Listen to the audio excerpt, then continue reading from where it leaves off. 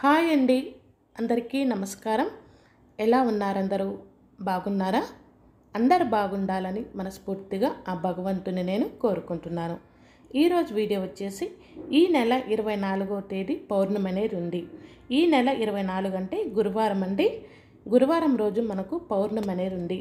పౌర్ణమి రోజు ముఖ్యంగా మనం పాటించవలసిన నియమాలు అలాగే ఈ పౌర్ణమి తిథి ఎంతవరకు ఉంది? ఏ సమయంలో పూజ చేసుకోవాలి అనే ముఖ్య విషయాల గురించి మీకు పూర్తిగా ఈ వీడియోలో మీకు నేను తెలియజేస్తాను. అలాగే ఇరవై నాలుగున ఏరువాక పౌర్ణమి అని కూడా ఉంది. ఏరువాక పౌర్ణమి అంటే రైతులకు చాలా ముఖ్యమైనది. రైతులు ప్రతి ఒక్కరు ఆ రోజు విత్తనాలు చల్లడానికి ట్రై చేస్తారు.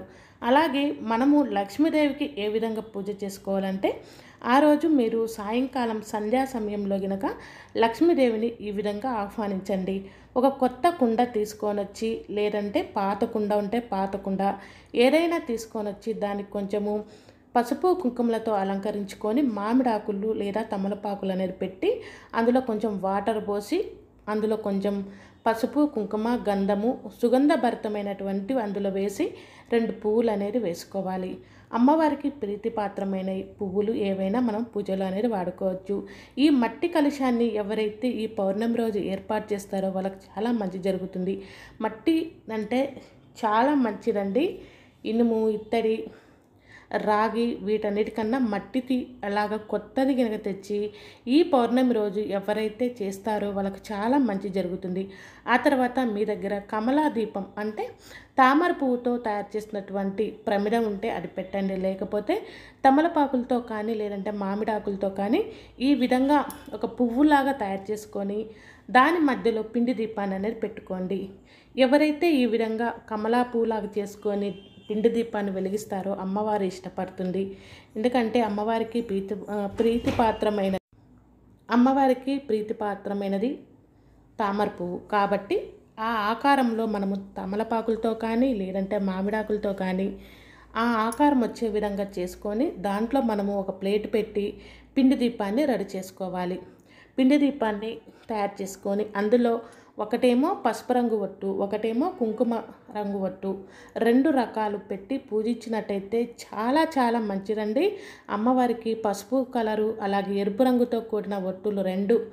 పసుపు కుంకుమలతో తయారు చేసినటువంటి ఒట్టులు పెట్టి ఎవరైతే దీపాన్ని వెలిగిస్తారో చాలా మంచి జరుగుతుంది. ముఖ్యంగా ఈ పౌర్ణానికి చాలా విశిష్టత ఉంది. చాలా ప్రాంతాలలో రైతులు ఈ పౌర్ణమి నుంచే ఏరువాక పౌర్ణమి నుంచే రైతులు కూడా విత్తనాలు చల్లటం ఇవన్నీ చేస్తారు.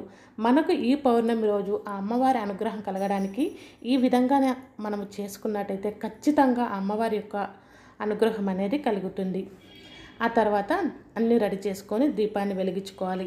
కొత్త కుండ మట్టి కుండ తెచ్చుకొని మనం చేసిన పూజకు చాలా మంచి ఫలితం అనేది కలుగుతుంది. చాలామంది పెద్దవాళ్ళు పూర్వకాలం అందరూ ఈ మట్టి కలశాన్నే వాడేవాళ్ళు. ఆ తర్వాత అమ్మవారికి సువాసన భరితమైనటువంటి పువ్వులతో ధూప దీపము అన్నీ చూపించేసేయాలి. అలాగే అష్టోత్తరము ఇవన్నీ కూడా చదువుకోవాలి. సాయంకాలం సంధ్యా సమయంలో ఆ రోజు తలస్నానం చేసి ఉదయాన్నే పగలంతా ఉపవాసం ఉండి సాయంత్రం చంద్రుని దర్శనం తర్వాత ఎవరైతే ఈ దీపం వెలిగించి పూజిస్తారో వాళ్ళకంతా మంచి జరుగుతుంది.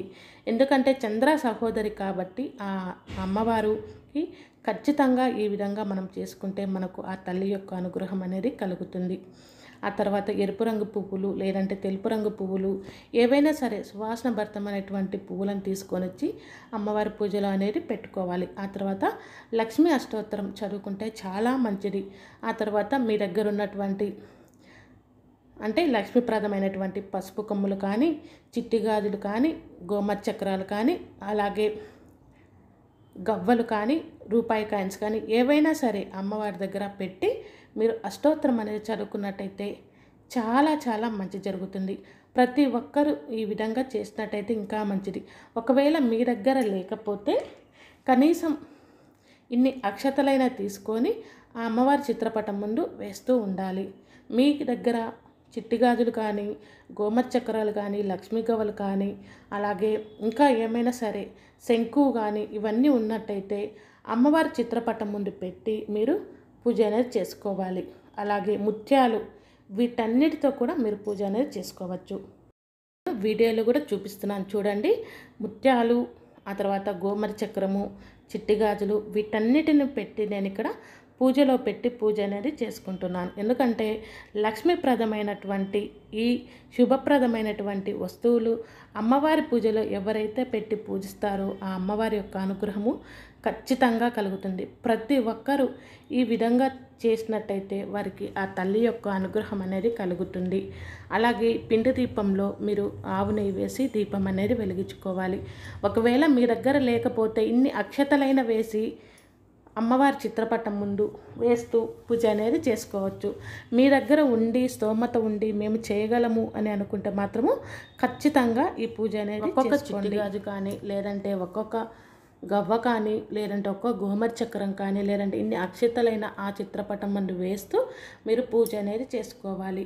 ఇవన్నీ లేకున్నా మనస్ఫూర్తిగా ఇంత పసుపు కుంకుమైన అమ్మవారి చిత్రపటం ముందు వేసుకుంటూ ఓం శ్రీ మాత్రే నమ.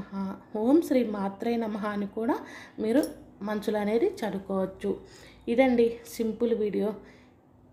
ఈ పౌర్ణమి రోజు ఏ విధంగా పాటించాలి పూజ ఏ విధంగా చేసుకోవాలి అనే దాని గురించి సింపుల్గా మీకు అందరికీ అర్థమయ్యే విధంగా నేను ఇక్కడ చేసి చూపించాను. అలాగే ఈ వీడియో నచ్చితే ఒక లైక్ చేయండి అలాగే షేర్ చేయండి. యూజ్ అవుతుంది అనుకుంటే ఫ్రెండ్స్ కానీ రిలేటివ్స్ కానీ షేర్ చేయండి. ఎలా ఉంది ఏంటనేది కామెంట్ రూపంలో తెలియచేయండి.